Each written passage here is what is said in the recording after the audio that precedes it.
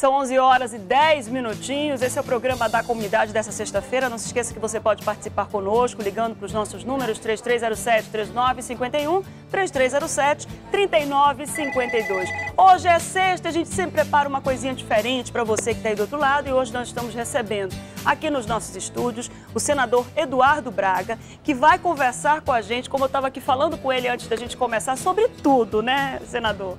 Sua disposição. A gente eu perguntei dele aqui, mas eu posso perguntar também sobre comida? Ele falou, pode, pode perguntar sobre pirarucu, com castanha, no forno. Tudo bem, bom dia. Bom dia, bom dia a todos, bom dia a você, Márcia. Uh, agradecer o espaço aqui na TV em Tempo uh, e dizer ao povo do Amazonas que é uma alegria poder estar aqui conversando com você e falando também com o telespectador. Vamos conversar como é que está a situação do Brasil e principalmente nesse momento que o senhor assumiu a relatoria do orçamento de 2017. Um ano que a gente é, espera que melhore, mas segundo os economistas aí ainda vai sentir um pouco dessa crise toda. Como é que vai ser fazer esse orçamento? Que missão é essa que lhe colocaram em suas mãos aí e agora o senhor vai ter que assumir? Como é que vai ficar? Bem, Márcia, primeiro eu acho que é preciso que o Brasil é, tenha um choque de realismo, né? uh, não só no orçamento federal, mas também nos orçamentos estaduais e municipais. Uh, o Brasil, ao longo desses últimos anos, tem feito orçamentos e esses orçamentos não têm correspondido à realidade, ou porque frustra a receita, ou porque acaba se gastando mais do que se estava estabelecendo no orçamento. É preciso que nós voltemos, portanto, a ter controle sobre os gastos públicos e melhorar a qualidade do gasto. Ou seja, não é só gastar menos, é gastar melhor. É comprar é, medicamentos mais baratos e que sejam de boa qualidade. Uhum. É fazer com que desperdícios na área pública reduzam e que nós possamos com menos dinheiro, fazer mais e melhor. Eu acho que esse é o grande desafio que o Brasil vai ter que enfrentar doravante. E, ao mesmo tempo, uma, uma, um, uma mensagem, um sinal positivo para o mercado brasileiro e para o mercado mundial, para que nós tenhamos novamente a confiança do investidor, para que o investidor volte a acreditar, volte a investir e a economia volte a crescer e assim nós possamos voltar a ter momentos de desenvolvimento, de melhoras e de conquistas para a nossa população. Até pouco tempo atrás, o nosso povo estava indo às ruas brigar por novas conquistas. E milhares de brasileiros foram para a rua, eu diria milhões de brasileiros foram à rua pedir por novas conquistas. Só que agora nós estamos vendo o povo de, do Brasil, mas aqui no Amazonas em especial, uh, se manifestando para não perder direitos já adquiridos. É? Exemplo, na saúde, nós tínhamos os caíques, agora não querem mais eh, sustentar os caíques. Nós tínhamos os caímes, já não querem mais sustentar os caímes. Nós tínhamos os SPAs, já não querem mais. Ora, é, para onde o povo vai recorrer na falta da saúde? Então, estabelecer qualidade do gasto público, compromisso com a transparência desses números, a verdade desses números e, ao mesmo tempo, é, dar prioridade àquilo que realmente importa. A saúde é importante, é prioritária? É. Então vamos botar dinheiro na saúde. Mas vamos botar esse dinheiro com um compromisso de gestão e de qualidade no gasto público para que esse dinheiro possa atender aqueles que mais necessitam e que precisam que a saúde funcione. Então, nesse, nessa organização, nesse relatório aí que o senhor vai ter que fazer, né, nessa relatoria, essa organização toda com relação a esse orçamento de 2017, o senhor já está dizendo que uma das suas prioridades será o investimento na saúde. Será o investimento na saúde com, essa, com esse viés, o viés da responsabilidade com o gasto público, responsabilidade com a qualidade do gasto público e com os números verdadeiros. Não adianta eu botar no papel, né? não adianta eu botar no papel que vamos ter é, 50 bilhões de reais se na realidade nós vamos ter 20. Então nós temos que trabalhar com números reais, com números realistas, com números verdadeiros. E temos que trabalhar com a consciência de que precisamos ter prioridades claras. A outra coisa que eu tenho defendido muito, Márcia, é que, por exemplo, o Brasil construiu fundos ao longo dos anos para que nós pudéssemos garantir recursos para algumas áreas. Nós temos um fundo nacional para a segurança pública. Temos um fundo nacional para o sistema prisional. Só para citar esses dois. Não quero nem adentrar em outros. Poderíamos até citar mais um aqui, porque é de interesse do Amazonas, o Fundo da Aviação Regional. Ah, um absurdo as passagens aéreas e no interior do Amazonas, mais cara ainda. É mais barato e voltou. Nunca esteve tão apropriado você dizer está mais barato você ir de Manaus para Miami do que ir de Manaus para Irunepé ou ir de Manaus para Parintins. A gente estava agora, eu estava agora mesmo conversando com a, com a, nossa diretora de jornalismo, Marcela Rosa, e ela disse que um orçamento de três passagens, ida e volta, para São Paulo, estava dando 10 mil reais. Imagina que absurdo, então, né, a gente então. chegar num número desse. Então, então veja, esse fundo regional da aviação já tem hoje 5 bilhões de reais.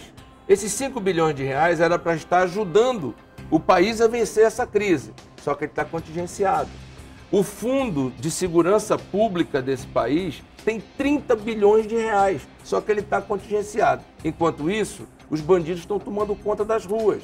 Enquanto isso, para a gente fazer uma Olimpíada, nós vamos lá concentrar investimentos um mês para poder garantir as Olimpíadas no Rio de Janeiro. Depois tiramos esses investimentos e o que, que acontece? O povo do Rio de Janeiro vai sofrer.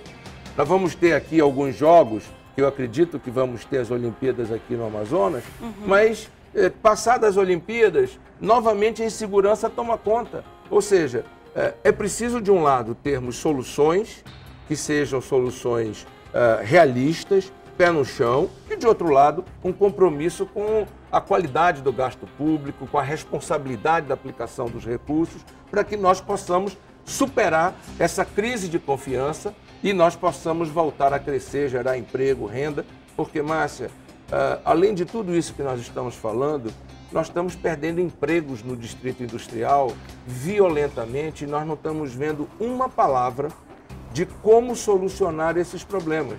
Você pode até não ter uma solução pronta, mas você tem que debater. Você não pode ficar de braço cruzado assistindo, por exemplo, a Moto Honda, que tinha quase 11 mil trabalhadores e hoje tem 6 mil trabalhadores, perdeu 5 mil trabalhadores. Estão? E você ficar de braço cruzado. O papel do governante não pode ser esse.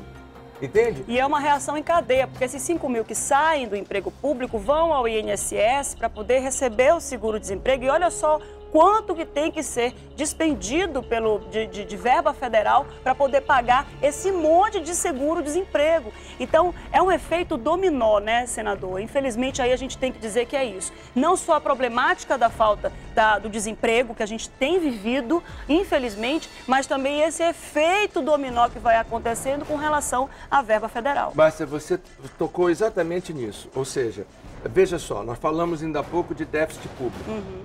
Aí o, o, o, cidadão estava trabalhando na Honda, recebendo, portanto, o seu salário, sustentando a sua família, pagando o seu plano de saúde, uhum. usando a saúde privada, tudo bem.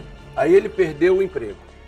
Ele está no seguro-desemprego e agora ele precisa da saúde pública. Quando ele bate na saúde pública, o CAIC está fechado. Quando ele vai ao INSS, por seguro-desemprego, ele aumenta o déficit da Previdência. Ou seja, é preciso que nós possamos olhar para a questão do trabalho, do emprego, do desenvolvimento econômico e que nós possamos encontrar soluções anticíclicas para segurar os empregos e que a gente possa virar o jogo. É isso que muitas vezes nós não estamos vendo no Amazonas. E, veja, eu que, seja como ministro, seja como senador, seja como líder do governo, tenho andado o Brasil inteiro, a crise ela está batendo em todos os lugares, mas em alguns lugares ela está menor, em outros lugares ela está maior. Os são piores, né? Ou seja, sente mais. Então, nós estamos sentindo aqui no Amazonas e sentindo aqui na Zona Franca de Manaus de uma forma brutal, brutal, o desemprego. Por quê? Porque nós não estamos conseguindo criar mecanismos para que nós possamos avançar. E aí, Márcia, me perdoe e me permita eu fazer uma colocação. Em contrapartida, as nossas riquezas naturais estão aí. Pois é, né? E nós que E estamos... todo mundo se const- pergunta em casa, né? O senhor tocou agora nesse assunto, todo mundo se pergunta, mas o Brasil é um país rico, extremamente rico. Como é que a gente pode viver uma crise como essa, com tanta riqueza e mal aproveitada ou não aproveitada? E aí você, você veja o que eu vou lhe dizer. Nós vínhamos construindo uma alternativa à Zona Franca e um conceito de desenvolvimento sustentável para que nós pudéssemos ter acesso a essa riqueza sem destruir a natureza, mas para gerar desenvolvimento para o nosso povo. Então, veja, ah, o nosso povo desempregado e nós estamos aí com milhões de metros cúbicos de madeira que nós podíamos estar fazendo manejo florestal de forma correta, de forma responsável, gerando emprego e renda, com o selo de Zona Franca Verde, com o selo de desenvolvimento sustentável e vendendo para o mundo. Um metro cúbico de mogno vale 80 dólares. Um milhão de metros cúbicos de mogno valem 80 milhões de dólares. Mas mais do que isso, para produzir um metro cúbico, eu preciso de quantas mãos de obra, de quantos empregos que eu vou gerar no interior, na sede municipal, no transporte, na industrialização. Direta e indiretamente. E, por- e por que, que nós não fazemos nenhum movimento nessa direção? O potássio da silvinita está aí se arrastando, o- os empresários investindo, mas não há um estímulo do governo do Estado. Então, o que, que eu quero dizer com isso? A dificuldade existe, a crise está aí, mas é exatamente no momento da dificuldade e é no momento da crise que, ao invés de nós ficarmos brigando um com os outros e punindo quem mais precisa, que é o É o povo mais humilde, era hora de nós estarmos discutindo como unir forças para vencer esse desafio. Por isso, eu quero mais uma vez, aqui no seu programa, me colocar à disposição. Eu sou relator geral do orçamento da União. Eu quero me colocar à disposição do povo do Amazonas. E se eu me coloco à disposição do povo do Amazonas, significa que eu tenho que me colocar à disposição do governo do Estado para discutir institucionalmente o que o governo precisa e me colocar à disposição da Prefeitura Municipal de Manaus e a todas as prefeituras do interior para discutir o que precisam. Eu sei que eu terei minhas limitações, eu não poderei resolver tudo, mas quem sabe eu, como relator, não posso ajudar. E se eu puder ajudar, eu quero ajudar. O Amazonas não tem um relator geral do orçamento há 15 anos. A última vez que um amazonense foi relator geral do orçamento foi com o mestrinho lá no meu primeiro governo.